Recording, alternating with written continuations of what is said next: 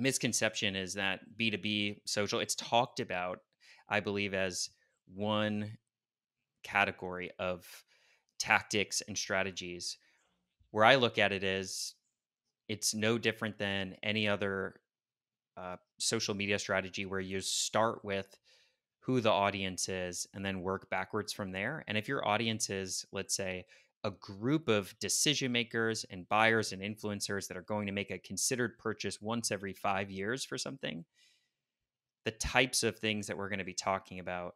are going to be hugely different from the other case, the the tool that you can pick up and more or less subscribe to for free and then pay for later.